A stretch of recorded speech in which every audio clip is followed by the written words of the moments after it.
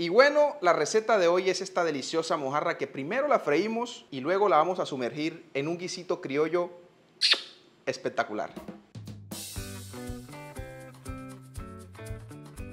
Empezamos picando una rama de cebolla larga lo más menudita posible. También picaremos un pimentón verde que ya tenemos sin semillas. Este lo combinaremos también con pimentón rojo. Continuamos picando un tomate maduro que si es de su gusto pueden dejarlo con o sin semillas. También picaremos una cebolla morada en julianas. Y ya por último un puñadito de cilantro fresco. Este trataremos de que quede lo más fino posible. Reservamos un momento y pasamos a la estufa. En un caldero grande vamos a agregar un buen chorro de aceite que puede ser de oliva o vegetal. Una vez caliente le ponemos 3 dientes de ajo bien triturados y luego todas las verduras que picamos inicialmente. Para brindar aún más sabor le ponemos dos cucharadas de salsa de tomate o ketchup, igualmente unas dos cucharadas de mostaza. Le agregamos sal al gusto, una cucharadita de paprika, una cucharadita de orégano seco y cerramos con pimienta negra recién molida totalmente al gusto. Aquí lo que debemos hacer es ir mezclando continuamente por unos cuantos segundos hasta que todos los ingredientes se incorporen correctamente. Luego le ponemos una pizca de color y finalmente le agregaremos medio litro de agua. En este punto continuaremos mezclando hasta que las verduras se cocinen muy bien y el agua empiece a reducirse. Ya como último ingrediente que le vamos a poner serán unas rodajas de tomate para que este guiso quede mucho más especial. Dejamos servir por un par de minuticos más hasta que el tomate se cocine muy bien y luego podemos bajar de la estufa por un momento.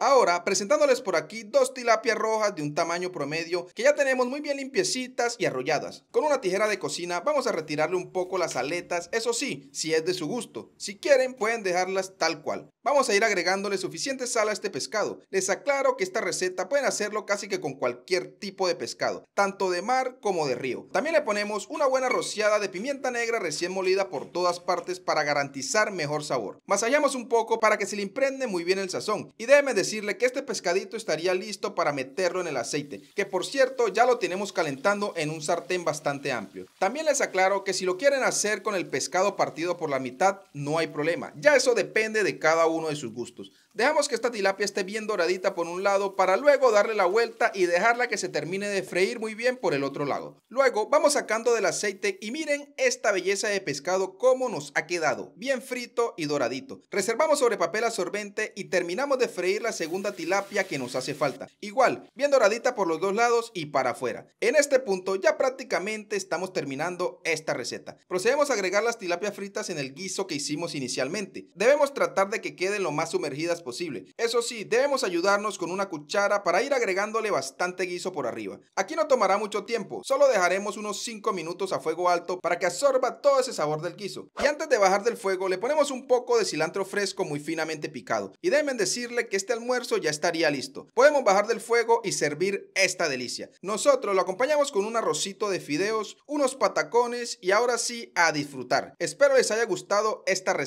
y también espero se animen a prepararla. Yo sé que no se van a arrepentir. Como siempre les digo, gracias por ver el video hasta el final. Yo soy Ricardo, acompañado de mi linda esposa Juliana, persona encargada en preparar cada una de estas delicias. Dios me los bendiga y recuerden que solo lo viste aquí, en Recetas para toda ocasión. Chao, chao.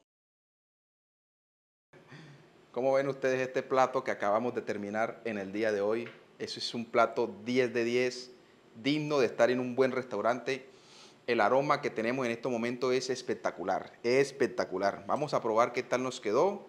Este guisito criollo muy, pero muy rico. Pescadito. Mmm. Mmm. un poquito de limón. Con esta combinación, arrocito de fideo, sus pataconcitos, no hay más nada que inventar en este almuerzo especial de hoy. Bien combinadito. Esto está espectacular. Prepárenla y me cuentan qué tal les quedó.